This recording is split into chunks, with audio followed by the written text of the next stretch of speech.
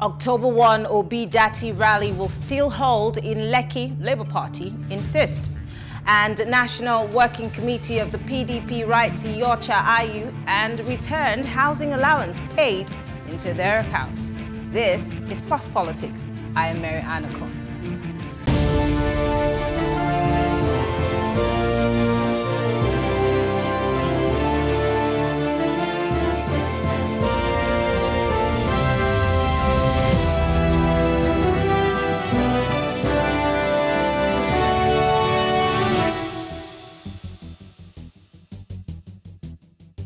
Labour Party on Thursday said it will still go ahead with its planned Obi Datti rally slated to hold at Lekki, Ikeja, Surulere and Festac Town in Lagos come Saturday, October 1, 2022. Governorship candidate of the Lagos State chapter of the party, Gbadebo Vivo Rhodes, made this known at a press conference saying that the Federal High Court in the state had given the party the go-ahead to conduct the rally. The party's flag bearer declared that the Obi Datti rally had no correlation with EndSARS movement and therefore enjoined residents of the state to join the march and push for the independence of Lagos from the status quo and also celebrate the country's 62nd independence anniversary. Well, joining us to discuss this is Charles Oputa, um, also known as the Area Father. Uh, he's a veteran singer, songwriter, and a human rights activist. And also joining him on the set is Dr. Mo. So good to have you, gentlemen. Nice to be here. Great. Um, for those who do not know, you are the president of all frustrated Nigerians. Mm. And many people don't understand why you would want to hold on to that kind of, you know, um, position. Is, the, is it a realistic position that anybody would want to hold? Why not? I'm frustrated myself. yeah. And I know that uh, there's this hopelessness that's been hanging over young people's head for the past uh, 15 years okay? Uh, Nigeria has become a sad river of frustration, depression. You know, nothing grows in a toxic environment like this, okay? But I am happy that finally, finally, and also in my lifetime, I'm trying to see this tsunamic kind of awakening mm. amongst young people, you know, which has uh, been something I've been advocating for for the past 40 years, mm. you know, because uh, four years ago, I kept asking, Unamumu never do, Unamumu never do. Now they, I, I sort of get the feeling that they finally realize that in their hands lies the future of Nigeria. And as such, they've come to the realization that not them be the government, not be those people waiting for Aso Rock or in government lodges. Hmm. No, they hold the ultimate tools in their hands. So this is something that I'm quite happy about, that finally, finally, is, is happening. A lot of people would have thought that you would stay aloof. Um, you would not pitch your tent with anybody, being that you're also very vocal about the you know political issues and of course how government has especially with what happened in uh, on the 20th of, of, October in 2020 many would have thought that you would watch before you pitch your tent but then of course you have pitched your tent and we're wondering why uh, it's simple uh, for all the times I I didn't say nothing. I didn't want to say nothing. I was really suffocating. Okay? And finally, it just came out of my mouth. It came out of my mouth because here was a guy who had so much charisma. Here was a guy who was simple, basic. Here, it's a guy that um, everything that is coming out of his mouth seems to make sense. But most importantly, that is addressing issues, not uh, talking about irrelevant things that don't concern us. Yeah? But most importantly, you know, I decided to, you know, throw myself, you know, the Labour Party because that's where all the people over the years, over the 45 years I've ministered to, seem to all be there, seem to be going that direction. And for the first time in my life, I'm following a trend, a trend that I think is positive, a trend that I think can bring changes. Mm. As far as I'm concerned, I'm nobody's campaign manager. but yes, I have love for the man Peter. Mm. But for me, I'm more concerned with young people because I'm hoping that from here on, they will start realizing the kind of power they have.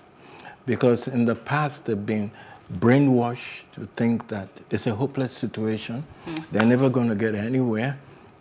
And who are they anyways? You know, they can't change nothing. Now, that's a big fat lie. And they're beginning to come to that realization.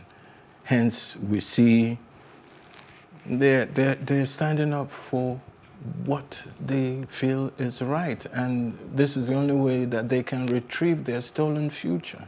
Hmm. So I'm rooting for them. You know, it's not, it's just for me, for me personally, it's a campaign of good governance. That even when you get your heart desire, yeah, and they finally become president, it's not a time to go to sleep. Oh. Mm. This is a time to be very much awake to question, to interrogate, to make sure that we don't go back to our old ways, especially young people. Mm. Okay? Because if we're talking about, you know, who's to blame for all of this, they also have a little blame from their side because they've been docile, they've been inactive, you know, consign them, my teeth is better than your teeth, you know, mentality. But, but who created that mentality that, that, that led to that docility that you're making reference to? Well, the leadership, but a country is deserving of the kind of leadership it gets. Hmm. Interesting. Many people have accused you of um, having tribal sentiments, ethnic, you know, sentiments for Peter Obi, being that you're from the southeast and he's also a southeasterner, um, and being that many regions of this country have been agitating for uh, the presidency to come to the south, and many have also decided that Peter Obi would be that person. But others don't necessarily think in the line of along the lines of good governance. They think that you um, have some ethnic, you know, sentiments towards it. Can you clear the air on that matter?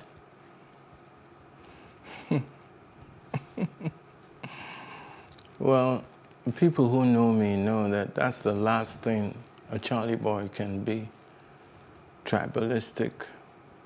No, that's not me. I guess I'm not the one they're talking about. They must be talking about some somebody else, you know. Uh, so if Obi were to be from another place and it was not an Obi per se, it if it Peter, was like, if it Peter was like, uh, okay, wait, wait. If it was like, uh, what's it called? Ojikalo. Tufiakwa. Tufiakwa, tufiakwa. Why would he say that? Because I know him one on one, and I know that his heart is that dark. Okay? If he was to be Rochas Okorocha, Tufiakwa. Now, if it's APC and he was to be Osinbajo, okay, we'll start to listen. Mm. You know, so I'm not, uh, I don't function on, on tribal and religious line. That's not me. So I guess people are looking for something to tag me with. And I also remember that I've been tagged as a homosexual in the past when I'm not. So Name calling don't bother me. That's mm. what I'm saying. Yeah. Let's come back to the politics of it before I come to Dr. Mo. Um, the Peter Obi phenomenon, I've asked many politicians when they come on this show what they think about the Peter Obi phenomenon and, and if they're worried about it, if it does give them a reason to want to step up their game. But then you spoke about the fact that you believe that these people are becoming more aware of the powers that they have. But we've seen Nigerians, you know, be this energetic on social media, and then election time, we see a drop. A voter like an apathy anticlimax. Exactly. Kind of yeah. Can this phenomenon be sustainable all the way to? This is the largest. This is the longest time we've had to campaign for any campaign season. Um, can we sustain that momentum? Whether it be for I- APC, I whether it be for PDP, or I whatever, but young see- people in I- general. I don't see why not. Because what has gone bad has gone terribly bad. And the young people are beginning to feel a little guilty, if I may add, because they are finally realizing not only that they have the power to change things, but you know, they've been too long in the cooler. And from here on, it's a new Nigeria I believe that we're going to see because the young people are putting their foot down for the first time ever. And perchance Obi wins. It's not for them to go back to sleeper. Oh. Hell no. It's for them to be more alive, holding that government responsible, interrogating that government, asking questions. Are those conversations being had now? Because Oh, see, yes. as, as, as much as we see that love or that movement, young people being aware, are the Mm-hmm. right conversations being had in preparation of what is to come? Listen, I've, I've met, I've been privileged in my lifetime to meet very exceptional young people in this country. I've even learned from them, okay? And I know that what's playing out now is quite different. And my role as an area father has always been, you know, to put like minds together under one roof, go out and get it done. Go out and retrieve your stolen future. Interesting. I have hope. Okay. Okay. Let's talk about the march. I saw, I'll let him, I'll let him rest. I saw. yeah, so I can drink my coffee. I saw a lot of people show up in, in Abuja um, for the one million man march, uh, and you know, we saw a peaceful, somewhat peaceful event. You know, and and when Very peaceful. yes, um, we also remember, like I said, I like to always drop this. What happened in Lagos during the EndSARS? Is there a united front of sorts that would prevent this activity from being hijacked? I tried to ask a young man yesterday, what are the things that are being put in place to make sure that interlopers don't take advantage of it and then cause another October 20 situation? How can we guard against that? Like the, the Abuja experience, for example, we were very clear. We had several meetings, you know, to up the ante where the things that um, the older orders have used to divide and rule us, you know, where religion is concerned, ethnicity, and um, also the class value where some people are paid, you know. So we spoke to those narrative for the young people to understand that um, they are only being weaponized and they're victims in their own game. We did that very much. And um, you could see that the messages are sinking, you know, and they're seeing what is happening because the people who are sending you are their children there, you know. We try to raise mm-hmm. their consciousness and their values along those lines. And anybody can see because at the end of the day, we're all human beings, you know. The pain, the blood that runs in our veins are all red, you mm-hmm. know. So those kind of messaging, those kind of consciousness is what we we used, you know. And um, Area Father said something. We also let them know that you are the government, you know. So that sense of ownership, because if you if you if you sh- turn the table around, if it's your house, if it's your road, you won't dirty it. If you know that the street lights are put there for you, you won't break it. Aha. So those kind of messages. The road, the president doesn't drive on the road. You are the one driving on the road. You know, so those kind of messaging and also to understand that in reality, the narrative that the older orders have pushed as concerning this primordial uh, these parochial sentiments of divi- divisive uh, ways they've used. The younger generation don't exist in that. They just want to go to school and come back.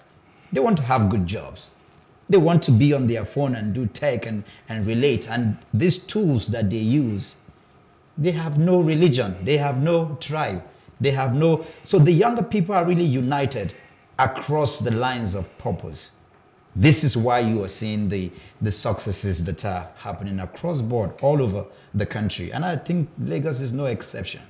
Let's talk about the challenge. There was a little hiccup. There was a little, I don't know where that information came from, but then that there was going to be a convergence at the toll gate where, um, you know, the October 20, uh, you know, incident happened. Um, how did that come about? Because of course he ended up in court, and then we had you guys had to get a court order um, allowing you to even pass through the toll area. Mm. Um, help us understand how that happened. I mean, it's only natural because the passion and the energy, um, there's, there's so much power that you see, and it's this is driven from different uh, genre of, of the young people. You know, of course, you can't totally alienate um, this energy. It comes from people who are deprived. It comes from people who will see that, um, I mean, we've been riddled with so much bad governance. Our young people have become tools and recruits meant for, for terrorism, for banditry, for, for all kinds of, you know, fraud, yahoo yahoo, and all kinds of menace in the society. So you see all of this. Now, all these energies are coming together. Okay, the EndSARS energy is also coming together. And I'll tell you something that is very critical.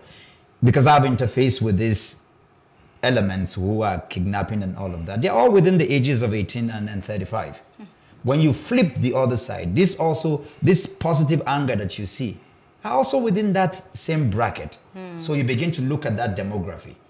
Now, it's important because to deal with that negative energy, you need the input of this positive energy. It's only these young people that can deal with that energy. Mm.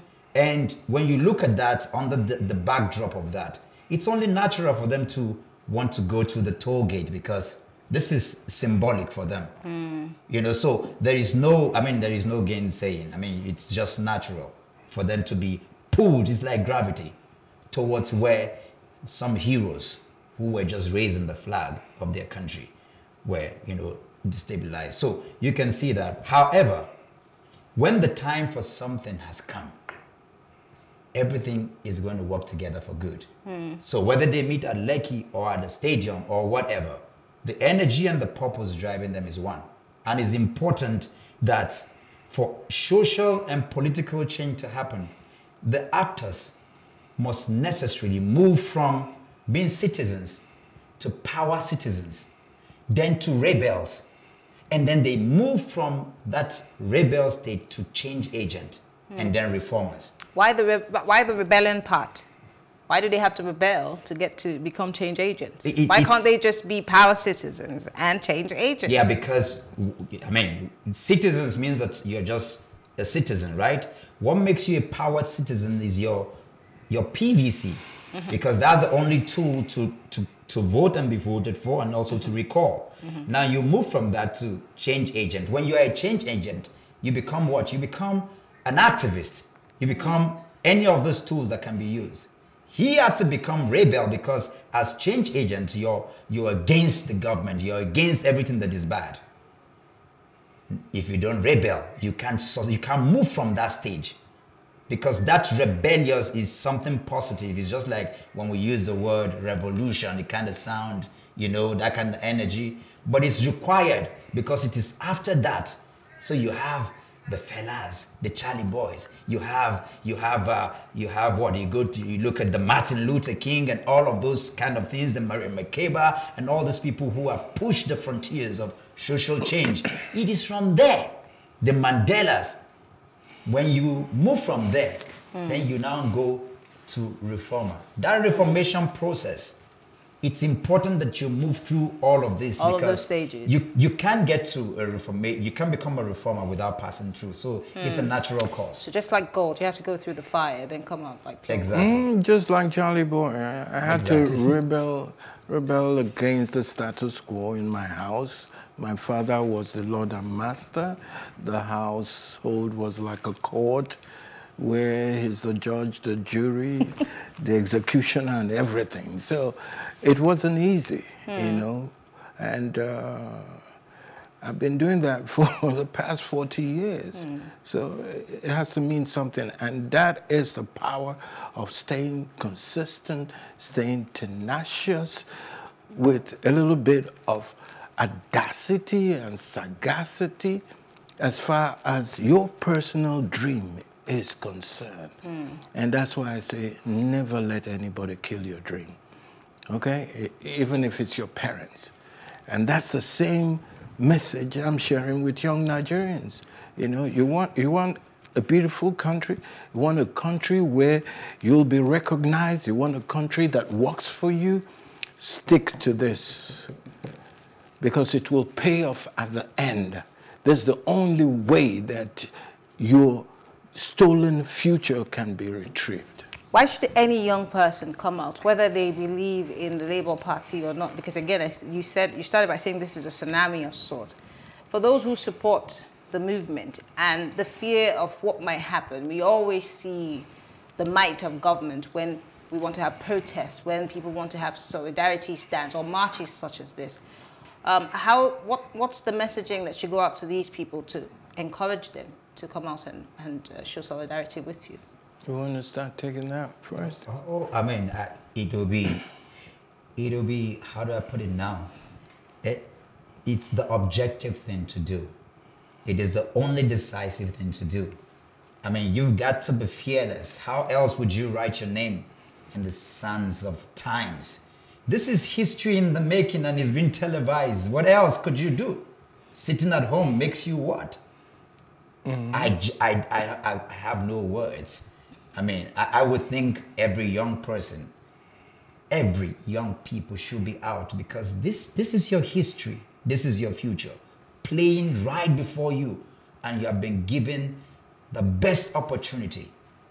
The, this, this is a singular best opportunity. It's never going to come again. It's like, how do you put it now? Eh, what was a that? comet? It's like the, the, the COVID comet. season. Yeah, Okay. the comet. You never, you, you don't, you don't, you don't have it twice hmm. in a lifetime. And this, this, i- i- in addition to what you just said, I always tell young people, no matter if you've been bequeathed with a bad deal, it behoves you. It's in your hands to make it, correct hmm. it. I've seen some people who have come from practically nowhere, but they pulled themselves up and made a success of their lives. Okay? So um, it's not about how the environment has so frustrated us, it's about the will that we want to see a better Nigeria, a better Nigeria that serves everybody, including young people, aged people, or elderly people. I want to bring up something um, that um, Femi Kuti commented on about tolerance, especially for those who are part of the Obidient movement on social media. We seem to see some mob mentality when someone does not necessarily um, support their cause. We see the pulling and dragging. Why would I want to vote for a candidate whose followers are negatively, you know, attacking people on social media? Hmm. That was before. People are having sense now because that's not the issue. Because we already know that they've used religion, they've used tr- tribalism to get us at each other's neck. And there are bad people everywhere. There are bad people in APC, there are bad people in PDP, horrible people. There are also bad people in Labour a few bad people in labor too. So we're not about those kind of people. We're about what the issues are, where we are as citizens in this country today, which is kind of sad hmm. because we could be doing better. But then again, I always say, if my people knew better, they will do better. So it's not just about, they cuss me out too. They say, look at this 72 Sometimes they don't, they confuse me, but I don't even know how old I am anymore. 75 year old man talking nonsense. No problem. Let's talk about Peter Obi.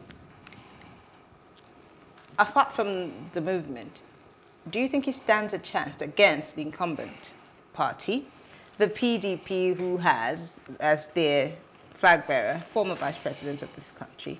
Um, and of course, we've seen a few other people from other political parties, but then, of course, many would say this is a three horse race. Um, how much of a chance does he stand, being that um, this is his first time being a flag bearer and, of course, a presidential candidate? That's not what I'm looking at. I'm looking at the man with the right kind of messaging. I'm looking at the man who speaks to my soul.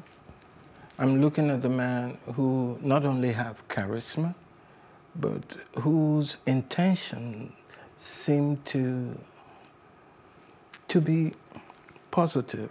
We can't know it all. Mm. So it's not about we're rooting for him because he will win or because he will lose. He's just he's just the right kind of guy for the now. For the now. And that is why even me as an area father, when I go out yeah, to commune with my constituency. I always have young people who are around, mm. okay?